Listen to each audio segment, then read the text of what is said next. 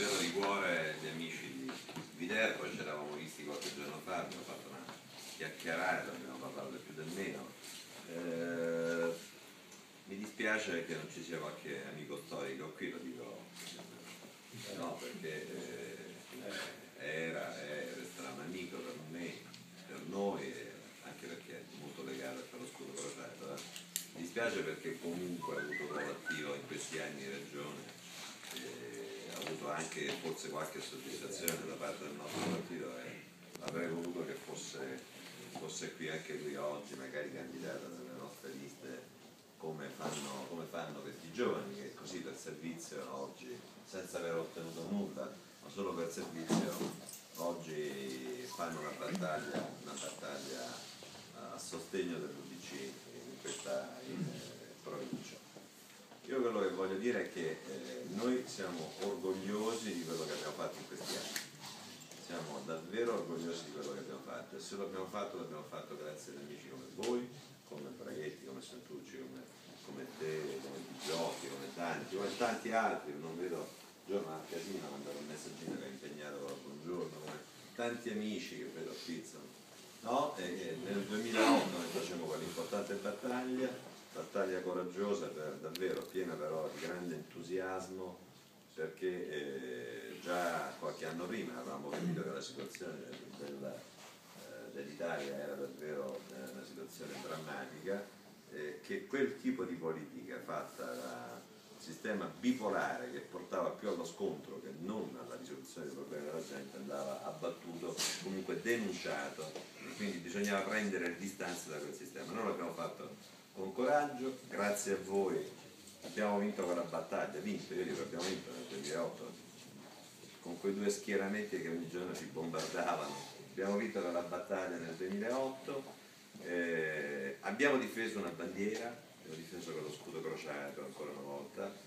perché lo ricordava qualcuno, per, per noi dietro lo scudo crociato c'è la difesa di valori importanti, perché è vero che viviamo una situazione di crisi economica, ma è soprattutto vero che nella, non solo in Italia ma in Europa, in Occidente, si vive una profonda crisi eh,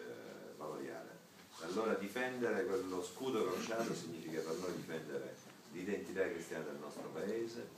difendere la vita, lo diceva prima Aldo, così per sintetizzare senza se senza ma, perché è così per noi, difendere, rimettere al centro della politica la questione famiglia, che significa sostegno concreto alle famiglie. E noi questo, devo dire, siamo orgogliosi di averlo fatto anche in questa legislatura, ad esempio nell'ultima legge di stabilità. Abbiamo fatto in modo che quelle risorse che erano destinate alla riduzione dell'IRPEF non andassero a tutti. Io ho spiegato anche un giorno, il Ministero ero con lui, con, con tutto lo staff, che dare a me una detrazione annua di 170 euro forse non serviva, che era più utile magari darne 500, 700, 800 alle famiglie disagiate o alle famiglie che avevano più figli o alle famiglie che avevano disabili in casa e così abbiamo fatto. Con queste mie parole si è convinto, eh, devo dire che siamo riusciti a cambiare. Allora, rimettere al centro della, della, della politica anche la questione famiglia per noi è un discorso in questo momento estremamente serio e noi diciamo anche con molta chiarezza qual tipo di modello di famiglia che noi difendiamo. La famiglia è fatta da un uomo, da una donna, fatta da figli,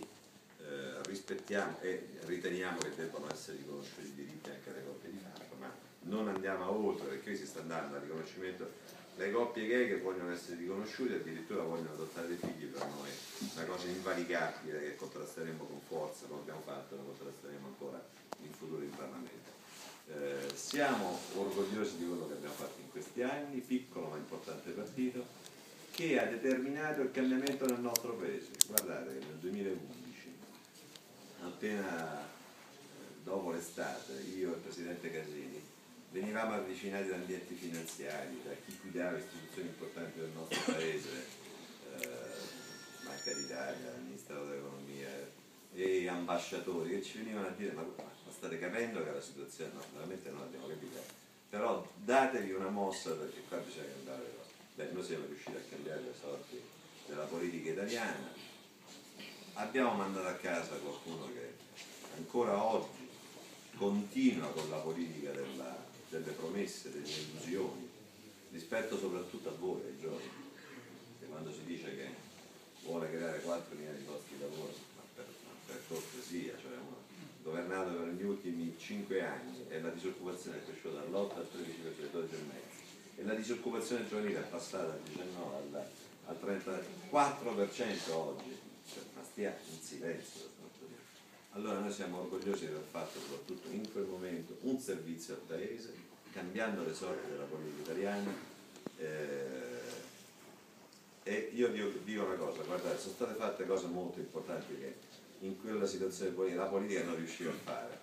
Cioè abbiamo fatto delle cose importantissime in questo anno. Eh, riforma del sistema previdenziale, abbiamo messo a riparo il sistema della previdenza italiana, garantendo a voi, a noi, a noi, ma anche a voi, un sistema eh, che può nei prossimi anni garantire la pensione perché la riforma che abbiamo fatto significa un risparmio di 140 miliardi di euro nei prossimi anni, quindi garantire il sistema previdenziale italiano. Così il tema delle liberalizzazioni, che non, che è stato fatto in maniera tiepida, noi l'avremmo voluto fare in maniera ancora più dura.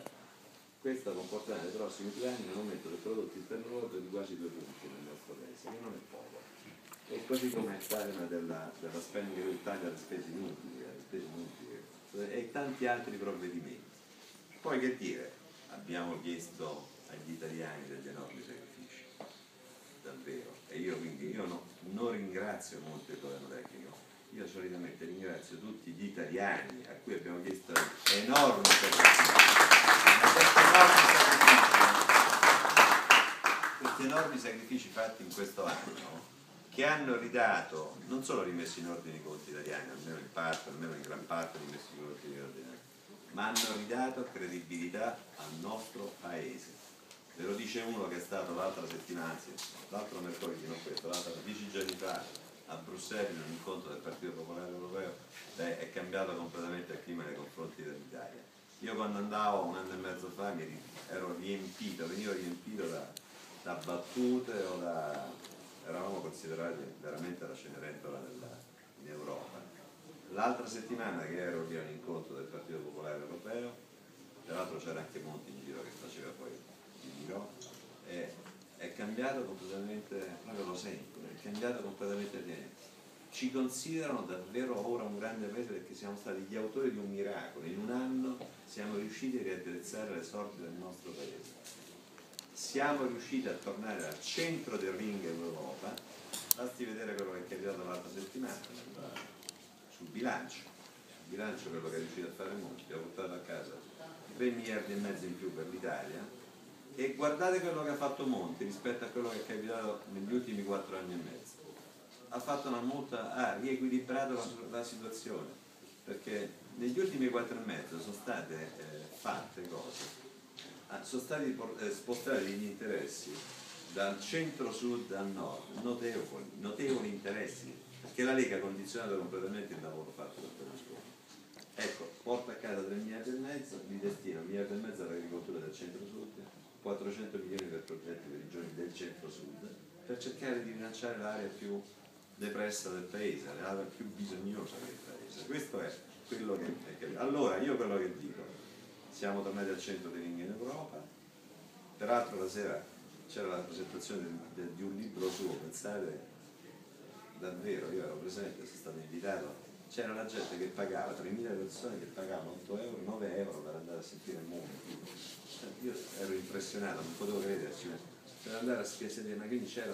un'attenzione nei confronti del Presidente, ma soprattutto anche un rispetto, nei, eravamo un gruppo di parlamentari, un rispetto nei confronti dell'Italia, degli italiani notevole. Allora, quello che io voglio dire, non buttiamo nel cestino i sacrifici che, abbiamo, che, che avete fatto, che abbiamo fatto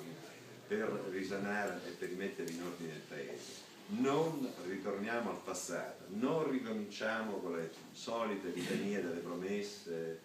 posti di lavoro, IMU da 26 tutte l'ufficio postale, ritirare l'IMU, che ne so, poi condoni di ogni genere, sono tutte cose irrealizzabili, irrealizzabili in questo momento. Allora bisogna andare avanti sulla strada della verità, sulla strada anche della concretezza, cercando di portare avanti e fino in fondo il tema delle riforme, a partire dalle riforme istituzionali,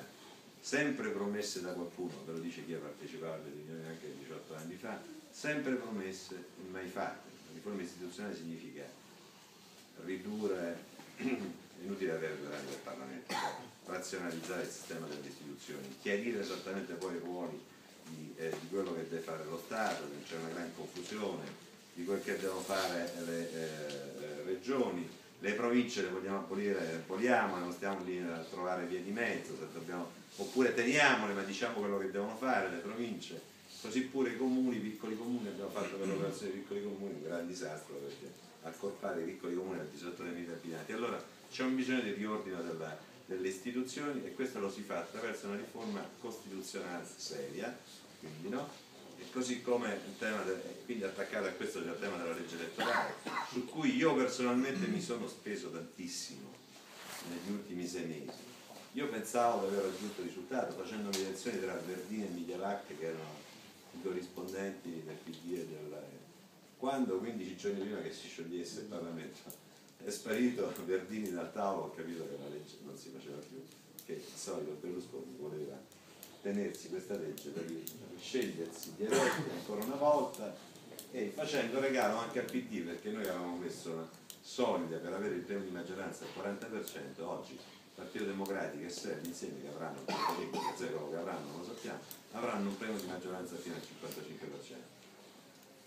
così pure altre riforme che vanno fatte perché semplificare anche sburocratizzare il nostro paese un altro tema molto importante la riforma della giustizia sempre non ce l'è mai fatta soprattutto quella civile non è pensabile vivere in un paese in cui devi aspettare 10 anni cioè,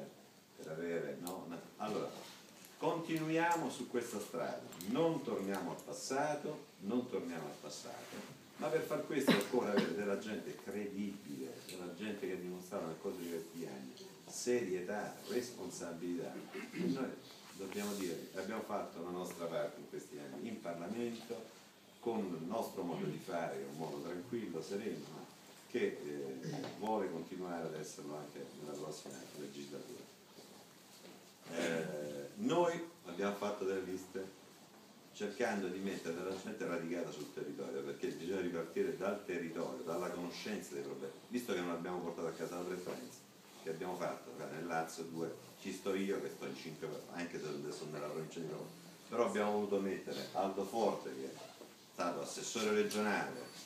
peraltro dei servizi sociali, che conosce profondamente la regione, i problemi di tutto il territorio, abbiamo voluto mettere poi la Formisani che è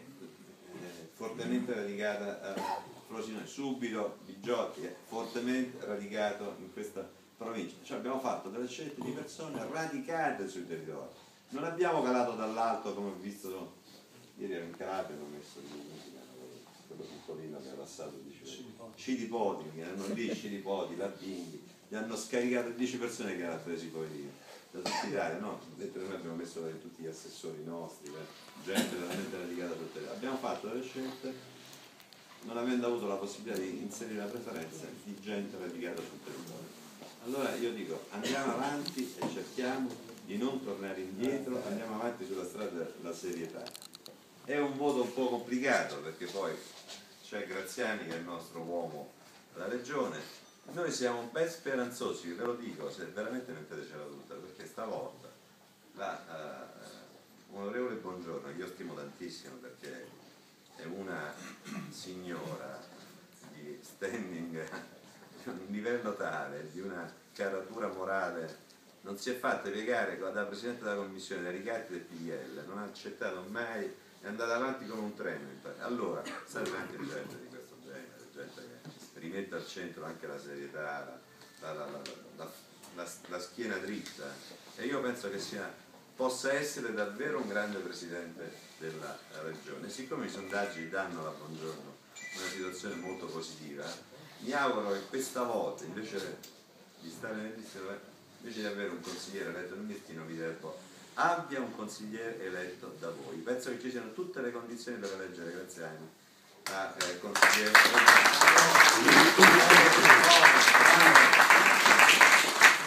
avere un uomo nel Consiglio regionale, voi sapete quanto è importante, significa portare i problemi di questo territorio all'interno di una, di una delle ormai delle istituzioni più vicine per, perché i comuni poi dicono attraverso il rapporto tante questioni vengono risolte dalle regioni che doveva solo legiferare la regione, ma insomma adesso gestisce tutta la regione, inutile che ci... questa è la verità. Allora io l'appello che vi faccio davvero è momento delicato, lo schema di gioco non è più quello di una volta sinistra-destra con le grandi ammucchiate della sinistra-destra, noi l'altra volta eravamo schiacciati, ricordo ancora il Presidente Berlusconi l'ultima notte della campagna elettorale, io tornavo a Foggia, Sky, col ditino nella telecamera, non votate UDC è un voto inutile, vi toglierò l'ICI, le due cose che disse, non votate UDC, pensate quanto siamo stati utili in Parlamento, in difesa dei valori che dicevo prima, in Parlamento nel mandarlo a casa nel momento in cui c'è stato bisogno di mandarlo a casa perché stava portando al paese di ordine.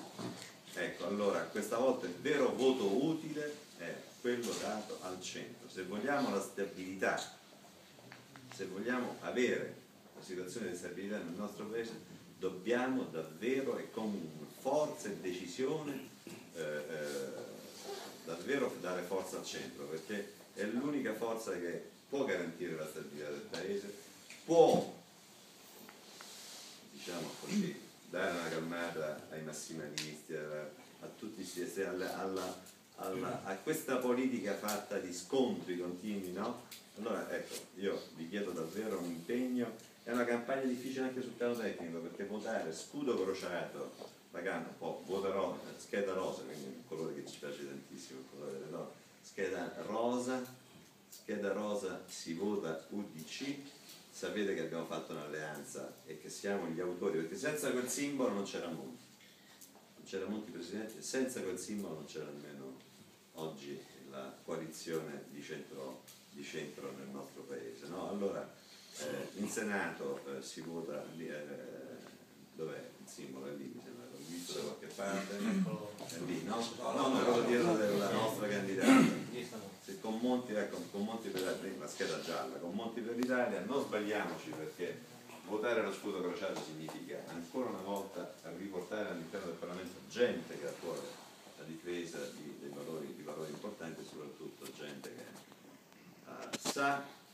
come far ripartire l'Italia perché il grande cruccio nostro, ve lo dico davvero perché quando ci parliamo tra di noi, anche quando nel corso dei, degli, ultimi,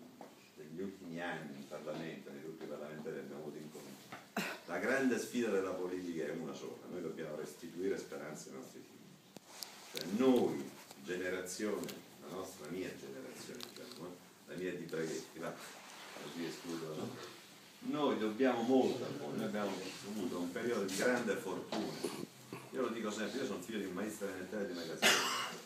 Sei figli che ci hanno fatto studiare, diplomare, laureare, però poi io ho trovato anche un lavoro subito, non come voi, non come i miei figli. Poi siamo tutti in una situazione davvero, no? Un lavoro, ho fatto l'impiegato, il dirigente in azienda. Poi siccome c'avevo pure mio padre che fece un po' prima, pure parroco mi spingeva, ho fatto il consigliere comunale di un paesino della provincia di Roma, poi il consigliere comunale a Roma, poi il parlamentare europeo, il parlamentare nazionale, segretario di un partito. Io non so se i nostri figli hanno le stesse nostre possibilità. Allora qual è la sfida vera che noi abbiamo avanti? Davvero dal 26, non con le promesse che poi vengono cestinate il 26 sera, già vengono buttate nel cestino o in qualche altra parte. Allora, noi dal 26 sera dobbiamo dare una risposta ai nostri figli che possono vivere come è stato per noi in un paese democratico, libero, unito, unito, dico unito perché abbiamo fatto una battaglia contro la Lega, siamo stati gli unici a fare una battaglia con orgoglio contro la Lega perché questo paese era a pezzi altrimenti,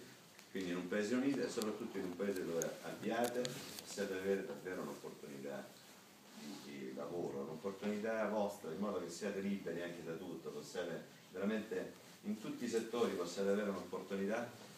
non solo vostra, ma possiate così, attraverso il contributo, far tornare questo paese ad essere quel grande paese che è sempre stato. Allora, questo è l'obiettivo principale della nostra azione politica, fatta con compostezza, senza urlare, senza, eh, ma fatta con la serietà che si deve in questo momento agli italiani e soprattutto a voi giovani. Ecco, questo è lo spirito della nostra campagna elettorale, ma siccome la campagna elettorale, come dicevo, è una campagna elettorale difficile, affido davvero, davvero a ognuno di voi dirigenti e anche amici che siete qua presenti, giovani che siete presenti.